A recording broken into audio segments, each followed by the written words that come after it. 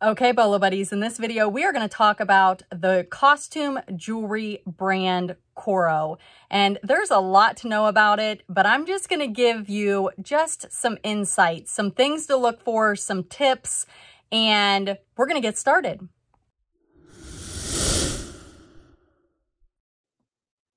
Hey, Bolo Buddies, thanks for watching. All right, in this video, we are going to talk about a big money jewelry brand. And we're going to take a look at the markings on the back and some of the different things that you need to look for. So let's get started here with the first big money bolo. All right. So we are going to be talking about the brand Coro. This one is the duet. I'm not great with jewelry, guys. I'm learning, but I thought this would be a great way to just kind of learn together. So if I don't have the best keywords or descriptive words. Just bear with me here. But here's what I want to show you. So this is over on Mercari. And I do want to tell you that Mercari is a great platform for jewelry, both for um, selling and buying. If you um, are looking for some higher end stuff, it is available on Mercari. A lot of people call it the garage sale site. I I just do not believe that. I'm trying to find the photo of the back on this one and I'm not seeing it. But this is the duet, which means it comes apart into two separate pieces and has a backing. Now, I was hoping, here we go, that they would show. So this sold for $350 plus shipping and it's a little bit bright, but you can see here that this piece and this piece connects on to that piece. And this is pretty blingy. The pictures are not super great on this one, a little bit out of focus, but you do get the idea. And I'm not seeing a marking on this one, but I have another example for you right here. This one is a Coro set. It's the horse, double horse duet and it sold for 300 so let me pop this one open and let's take a look at the the photos here. So it's got some bling here. Okay these pictures are better. It says Coro duet. It actually says duet and then it also has a patent number. And you can see here what it looks like and this is the back piece and we're going to talk about this here in a few minutes but just incredible what these go for.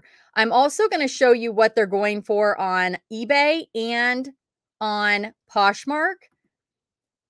If you are not on Mercari and you are thinking about it, I do have a referral link down below where you can get $10 to shop when you join and another uh, $20 to shop when you sell $100 worth of stuff.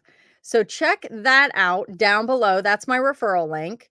And then they also give me some money to shop. So that's fantastic. So let's go over to eBay and just kind of look at the Duet uh, Coro brand. And we may click on some of these and actually go in and look at the backs and look at more of like the signatures, the branding, if it's signed, unsigned.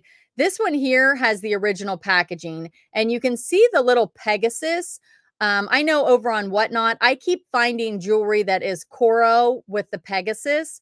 I am guessing that this helps date the item.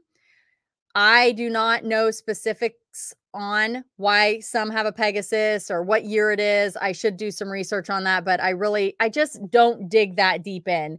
Uh, when I sell stuff on whatnot, I'm just kind of pulling it out of a pile and starting my items usually at $5. So if you're not following me on whatnot, definitely come over. I do a lot of jewelry shows, but as you're going to see from this video, I know very little about jewelry. So that's why I like selling it on whatnot. And I have a referral link down below where you can get $15 to shop on whatnot with that referral link. And I will tell you, Whatnot is a great place to source jewelry and other things to resell. So this one went for $1,801 with 41 bids. Now, I'm not going in and confirming these like I typically do. Uh, one thing that's great about Mercari and Poshmark is they don't have non payment. Over on Mercari and Poshmark, payment is automatically taken. It's not like eBay where you have unpaid. So it's easier to do research on those platforms for selling prices. This one sold for 940 And let's just go in and look at this one specifically at the photos. I'm going to make this a little bigger. And let's look. Is it missing a rhinestone right there? It looks like it might be. Or maybe it's just off color. But you can see how the backs look. Patent number. And this one right here, I think it says Coro Duet. And there you go. The seahorses, $940. You've got the fish, the jelly belly fish. There's two of them here. Here's the horse. Brooch and earrings on that one, 580. So you can see a lot of these demand high numbers. And I can't tell if that's missing rhinestones or not. But the fish seem to be really popular. If you can find those, they look like they go for about $400. But if you ever see these, definitely look them up. Here's another one of these. These are absolutely beautiful. So this right here sold for 405 on eBay. All right, and here are a few more just to give you guys an idea. Oh, look at the little owls. How cute. Oh, the little lovebirds. So yeah, big money in these. Definitely be on the lookout. Now, um, let's go over here to replacements. If you find the backs, just the backs, the frames, the pin only, you can also sell those. Two of these sold for $56, $51. Obviously, people are finding these. Sometimes they're missing the backs, and these do sell. So keep an eye out. If you ever see anything that's weird that looks like a brooch you've never seen, this is something I would probably miss. I wouldn't, I'd be like, what on earth is this? Now you know. I'd probably think that was an actual brooch. I'd be like, oh, this is an interesting brooch. And it's a frame, $39.99, $33, $31. So you can see there is definitely money that can be made on these. And again, a lot of them, you know, they go for different prices. You're going to have to do your research. Some go for more than others. Here are the Coro duets that sold on Poshmark. $700 for this one. 400, 250, 208, 200. So yeah, big money. And a lot of these on Poshmark sold for less than they did on eBay. And that could just be the people selling the items didn't do their research. Maybe they were researching only on Poshmark. When you look up sold comps, I do recommend that you look at multiple platforms, um, especially eBay. I always look at eBay. WorthPoint is a great tool. It's kind of pricey, but it is a business expense and it does help you identify things that are harder to find. And I love WorthPoint. It took me a long time to get it. I do have some videos on it. If you type in Bolo Buddies WorthPoint, it will uh, pull up those videos and you can watch them. And I show you how WorthPoint has been beneficial to me because I was like, I am not paying that kind of money. And then I got it and I love it. So that if you watch that video and you feel like it's something that would be a good fit for you, um, you can use my referral link down below. All right, here is the Coral Coro brooch Angel Jelly Belly. Now, this one actually has the tag attached, but I don't see anywhere on this one where it actually shows the brand. So they do have this advertisement that shows it right here, but let's look at the actual item itself. There's nothing on the back that says that this is Coro. So for all of you experts out there on Coro, let me know down in the comments. Is a lot of Coro not signed? Is that common for it to not be signed? Here is some of the other Coro jelly belly angelfish. And this one's the duet. Here's one that is just, it's sterling, but 325. Here's two here, two pens enamel rhinestone brooches, 1950s Coro question mark. Oh, so they put Coro question mark probably because if you look, it's probably not signed. So I don't know if these are Coro or not. They still sold for about a hundred bucks. Okay. So let's go over here to this one. This one is Adolph Katz coral and Adolph Katz seems to be this one went for 220 on um, Mercari. Okay, so let's just scroll through here and look at the pictures. You can see right here it's signed Coro, and I think that might be the Pegasus. I'm not 100% sure. So 220 on that one. Let me go back and yeah, that looks like the Pegasus right there. All right, so I looked up Adolph Katz and Coro. And look at this $985. Now, I don't know why specifically Adolph Katz. I'm guessing it's probably a collaboration. I want to see if this one is actually signed. Adolph Katz. Okay, so this one says Coro Craft Sterling, but it does not say Adolph Katz anywhere. So there's probably a way to look up, just like uh, Crown Trifari, Trifari, there's the Philippe or whatever it is. This is probably just a, a designer for Coro. But some of the ones that are Adolph Katz, they go for more. This went for 375. Let's look at the back of this one. And again, I am not verifying to see if these were paid for. You can do that by checking feedback. And right here is your little Coro right there. Look how cute he is. Let's see here. So this one says Adolph Katz also for the duet. Hmm. And that one seems to be a pretty sought after brooch. So if you see that, oh, here's the bird fountain, the owls. So I wonder if most of the duets are the Adolph Katz. That's interesting because a lot of people are putting the Adolph Katz in the title for these. Maybe he has the fancier stuff. Yep. Very cool. Here, this says uh, Coro Pegasus.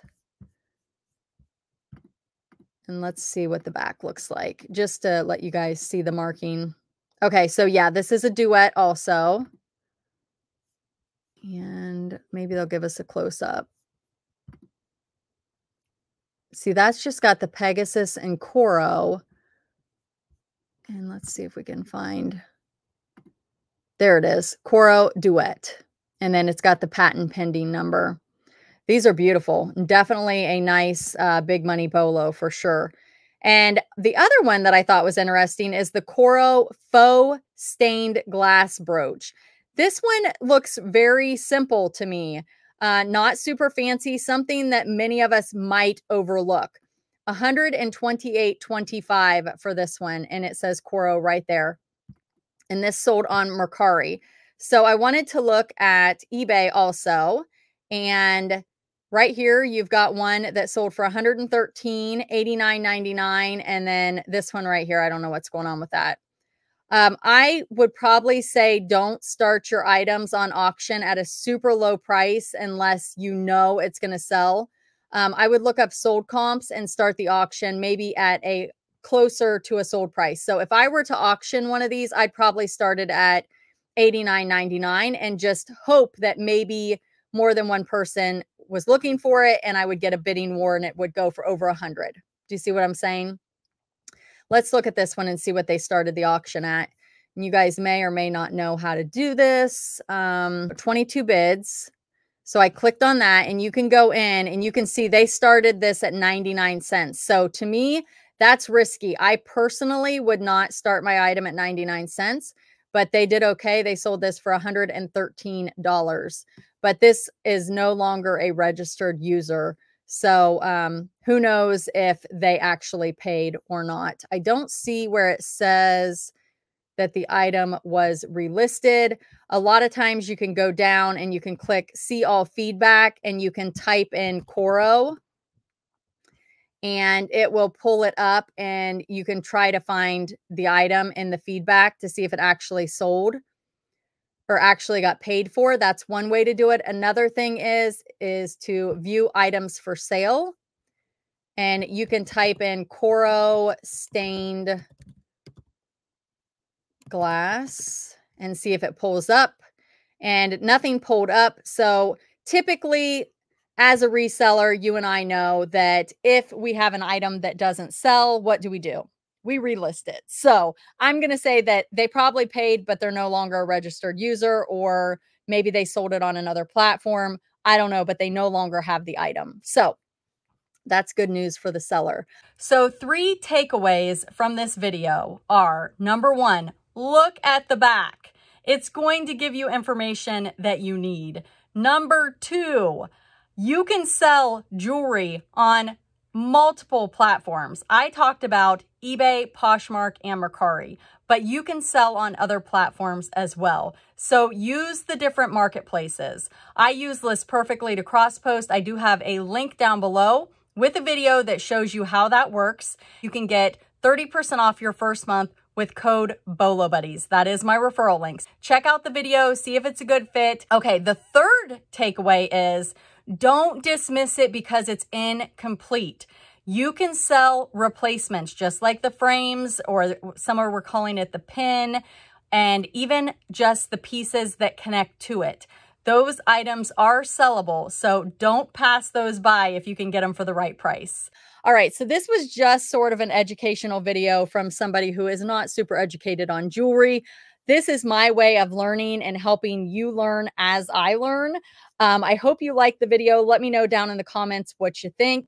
All right, you guys, thank you so much for being here. Thank you for watching. Be sure to like, comment, subscribe, and share, and I will see you at the next one. Thanks for watching.